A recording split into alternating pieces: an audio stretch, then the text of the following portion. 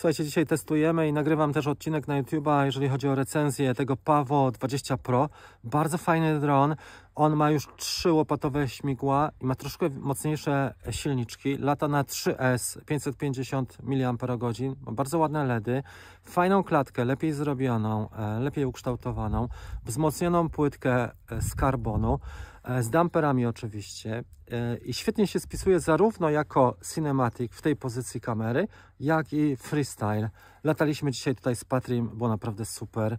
Recenzja już będzie niedługo na YouTubie. Pozdrowienia. Słuchajcie, mam za sobą już cały tydzień lotów tym oto modelem drona. To jest Pavo 20 Pro, następca Pavo Pico i Pavo 20. Czym się on różni przede wszystkim w porównaniu do poprzedników? Ma mocniejsze silniki, bo tutaj są Lava 1104 7200 kV. E, mocne, fajne silniki umożliwiają e, zarówno spokojne loty, takie jak na przykład pod nieruchomości, ale też loty freestyle'owe. No i kolejna zmiana, jaka tutaj zaszła, to są śmigła. Wprowadzono śmigła nie tylko większe, bo jest 2,2 e, cala, to są śmigła Gemfana, ale też trójłopatowe. Poprzednie wersje obejmowały śmigła dwułopatowe. W tej nowej wersji Pro mamy też nową klatkę, jest cały czas tutaj e, logo Pavo, natomiast e, jest inaczej wyprofilowana. Może nam trochę brakować kąta i mogą być dampery widoczne i antena e, w planie, dlatego ja zamontowałem tutaj kamerę Sotrójki na tym najwyższym otworze. Możemy zastosować oczywiście różne VTX-y, czy to jest O3, czy to jest Walksnail, czy HD0 to, czym, I to, co mogę Wam od razu pokazać, jeżeli chodzi o montaż, widać, że tutaj jest ramka, taka przejściówka do zamontowania PTX-a z Walksnail. Jedzie autobus, no to napaszamy za nim. Wolno sobie jedzie autobus. Można go śmiało nagrać. Dobra, i teraz tu przy lesie, za drzewem lecimy tu. Super jest ten dron. Przede wszystkim on jest cichu, cichutki, na takie półprzypały do lotów w mieście, bliżej ludzi, na imprezach, gdzie on nie przeszkadza, nie zwraca na siebie uwagi. Moim zdaniem jest świetny. E, to jest najlepszy mały dron i myślę, że dla początkujących on też ma rację bytu, bo po pierwsze łatwo się nim lata, po drugie on jest odporny niesamowicie na krasze. E, ten materiał jest bardzo dobry. No i też jest lekki. Samo to, że nie zrobimy komuś krzywdy, to jest mega. Wata jednak jest dość ciężka. Chyba zgubiłem w ogóle filterek, albo mi się wydaje. Bo mam wrażenie, że... A może nie. Po prostu tak jest ustawiona ekspozycja w otrójce.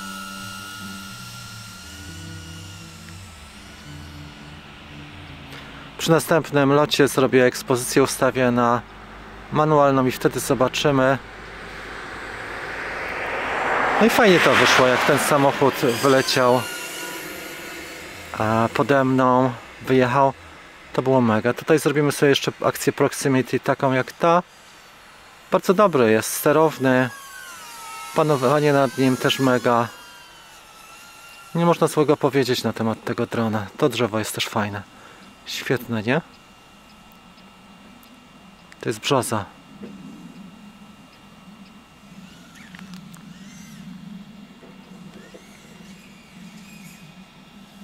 Ale robię do, do, don't disarm i wybroniłem się.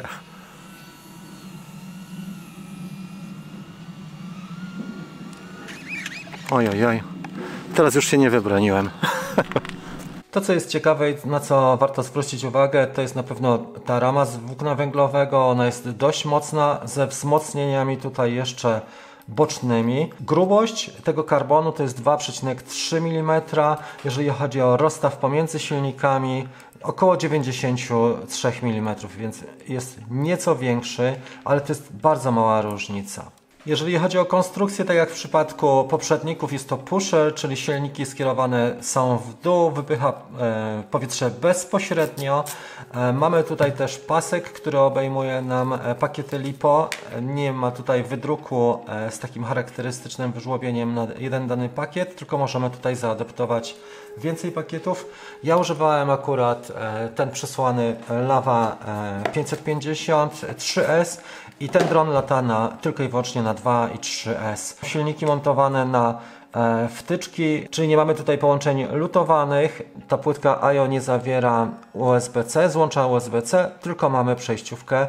A w komplecie jest dongle, który możemy wykorzystać do połączenia się z e, Betaflight. Ja zwykle trzymam tego typu przejściówki czy kabelki bezpośrednio w pudełku, więc e, trzeba uważać, żeby tego nie zgubić, bo faktycznie wtedy będzie ciężko nam połączyć się z Betaflight.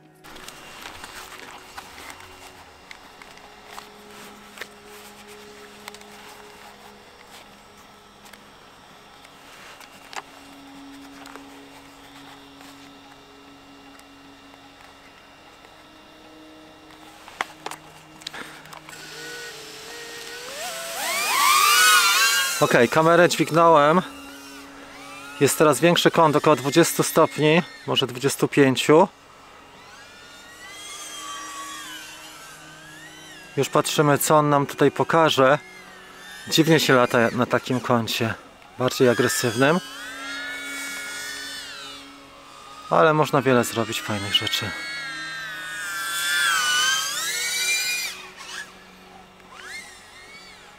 Tak, daje radę. On jest mocny w stosunku do e, swojej masy.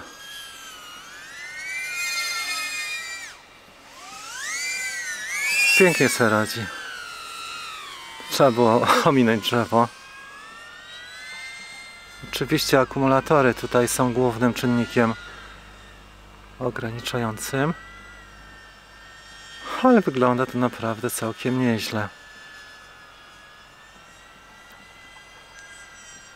Tak jak teraz.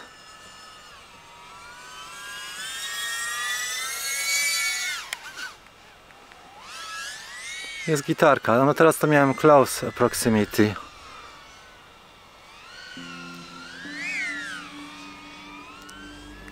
Nawet ten akumulator daje radę. Kład jest bardzo lekki i stąd się to pewnie bierze, że aż tak bardzo nie czerpię tych pakietów.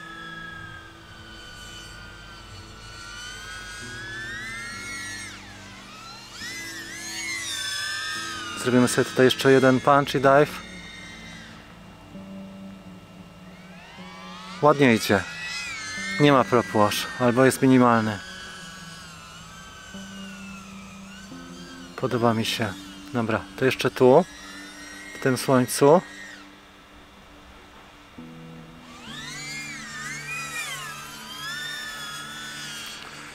Jak najbardziej na tak. Dobra, lecimy teraz troszkę szybciej. Spróbujemy złapać auto. Auto jest za wolne w tym układzie, to jeszcze raz, tak? Za wolne jest. Pewnie się gapią na mnie, co ja tu robię. Muszę lądować, bo już jest 10 e, V. Teraz zeszło na 10,7.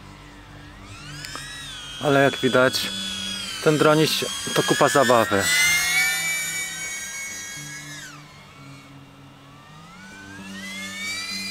Lądujemy.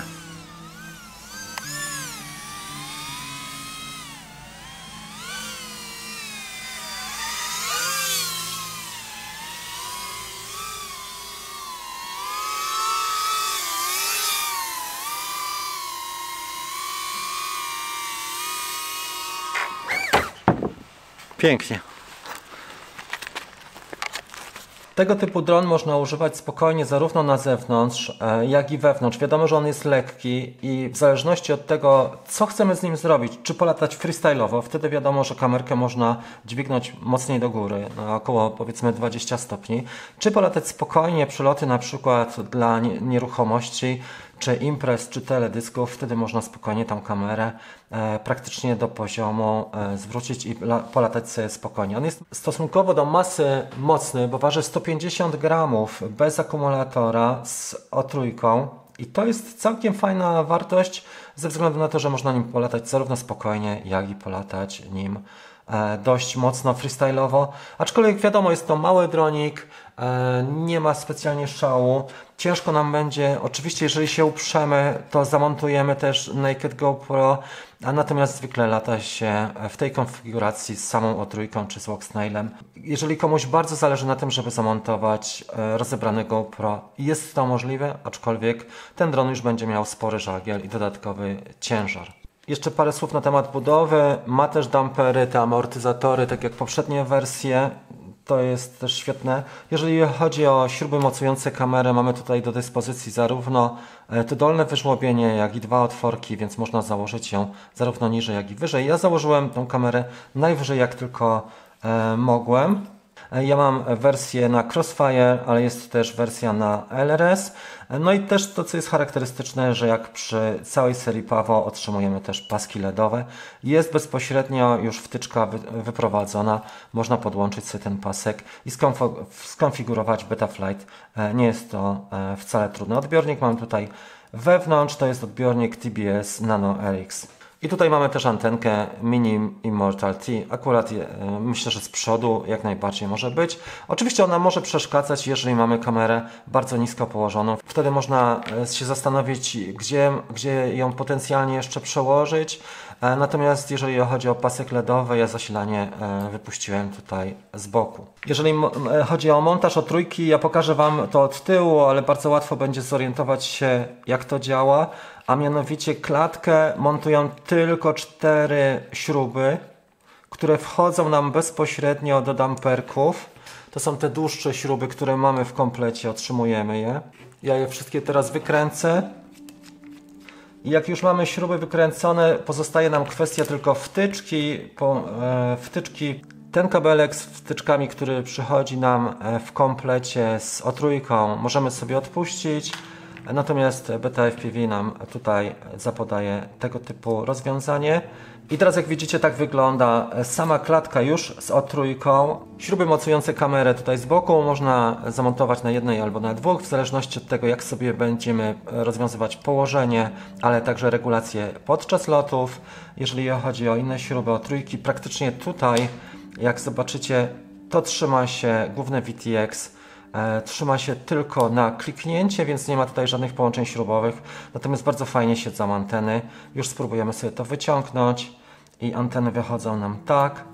Więc całość, jeżeli chodzi o montaż, zajmuje mniej więcej około 20 e, minut. Jeżeli chodzi o położenie kamery, widzimy tutaj jak wygląda logo DJI i widzimy, że kabelek wychodzi nam w dolnej pozycji. Teraz musimy sobie tego kabelka troszkę nabrać, i najłatwiej nam będzie to zrobić tak, żeby zacząć od anten. Ja tutaj użyłem anteny, które mamy w komplecie, te mniejsze. Można też wykorzystać tą dużą antenę. Przekładamy sobie te antenki przez otwory mocujące. Tak to wygląda. O trójka nam na razie siedzi luźno. I teraz tylko zwracamy uwagę na kabelek, żeby on fajnie wszedł i się dobrze ułożył.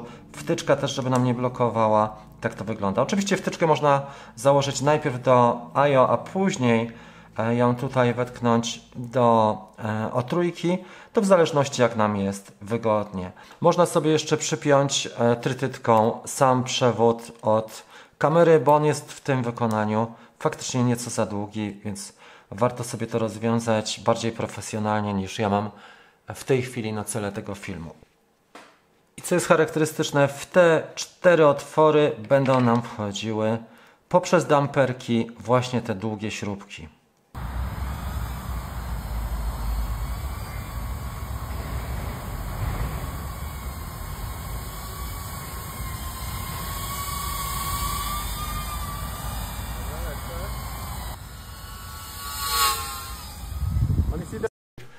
Teraz jeżeli chodzi o przygotowanie samej ramki, y, chyba najtrudniejszą rzeczą jest przełożenie tych czterech damperków. One są w komplecie w woreczku, przychodzą, więc ja używam czasami niteczkę do tego, żeby je przeciągnąć, a czasami szczypcami jestem w stanie. A następnie, jak widzicie, y, w otwory w damperach wchodzą nam cztery długie śruby, tak jak teraz. I teraz tak, słuchajcie, są dwie szkoły, jeżeli chodzi o wpinanie o trójki. Jedna mówi, żeby najpierw wpiąć sobie do trójeczki, a dalej, a następnie do IO, ale e, mnie się wydaje, że jednak łatwiej zostawić tą konfigurację, która jest już fabryczna i wpiąć sobie w ostatniej kolejności właśnie do otrójki. Nie mam akurat szczypczyków ze sobą, ale postaram się to też zrobić tymi moimi palcami. Tu weszło ładnie, delikatnie jeszcze dopchniemy z jednej strony i delikatnie z drugiej. Powinno siedzieć. A trójeczka jest wpięta, poprawiam sobie teraz delikatnie przewód.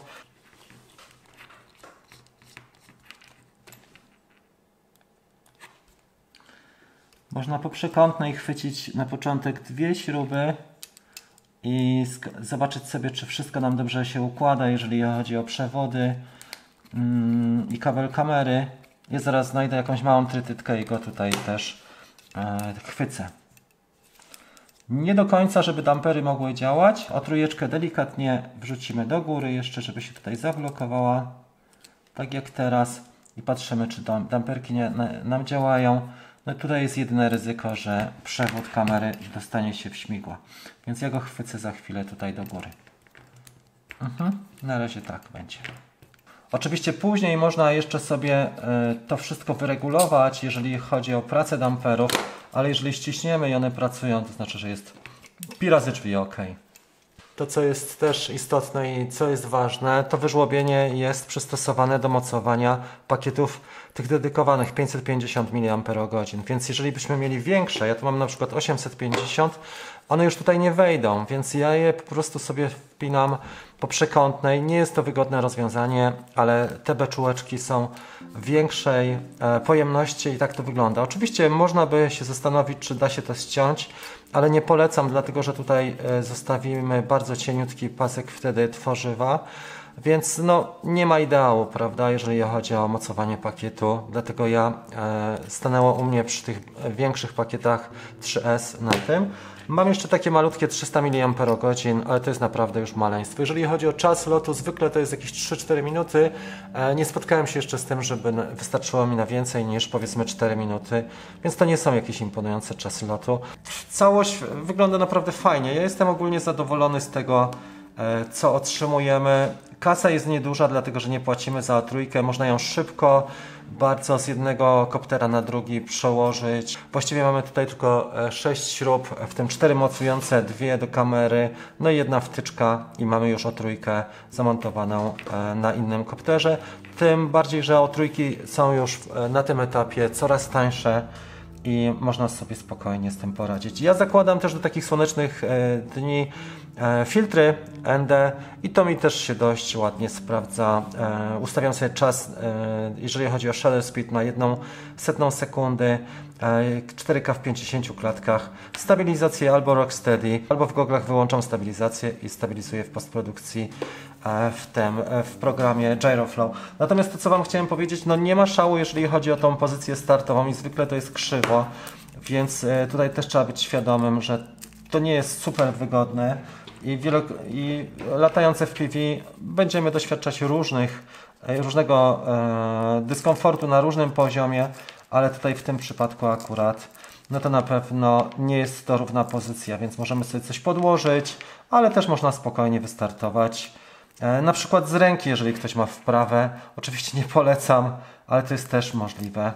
E, I też ludzie startują z ręki, albo ktoś przytrzymuje, na przykład spotter. Takie rzeczy widziałem.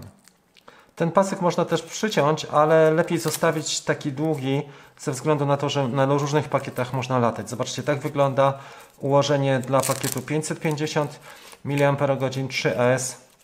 Wiadomo, że warto go wyważyć. To, co jeszcze tutaj robimy, to jest, czyli najpierw wpinamy się do złącza XT30, a następnie przesuwamy pakiet centralnie E, bo inaczej będzie nam ciężko. Nie jest to szał, trzeba też uważać, żeby e, ten port balansera nam się nie dostał w śmigła. Można go zawsze przełożyć e, przez kabelki i dać od spodu, w ten sposób umieścić od spodu. Tak chyba byłoby lepiej. I tak to mniej więcej wygląda, jeżeli chodzi o konfigurację startową.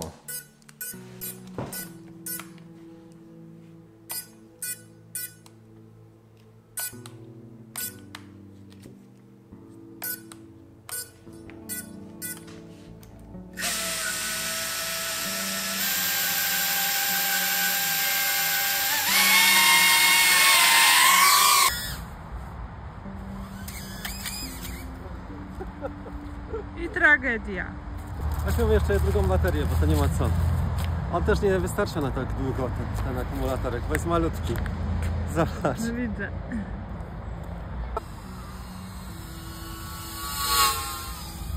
On jest idealny też, żeby...